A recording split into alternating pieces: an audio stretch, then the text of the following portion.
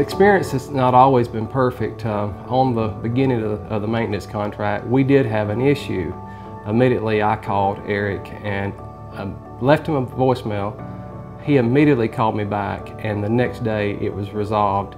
And that has been probably seven or eight months, um, maybe even last year, and we have not had any issues since.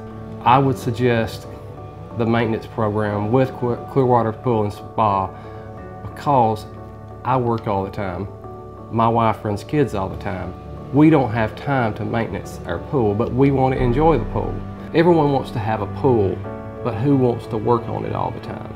Trying to keep clear water, clean water for your family and kids. So on Saturday mornings, especially in the summertime, all we got to do is go out to the pool and not worry about if the water is green or the chemicals are right it's just a godsend, honestly. One thing I like about the maintenance program is I usually get a call the evening before uh, stating that they will be there and they come every other week. Uh, I get home and I can, by them calling, I know what to look for uh, at the pool to make sure everything's done. Everything from cleaning the skimmer out to making sure the, the salt level and all the levels are right in the pool. And it's nice to come home to a clear, clean water pool.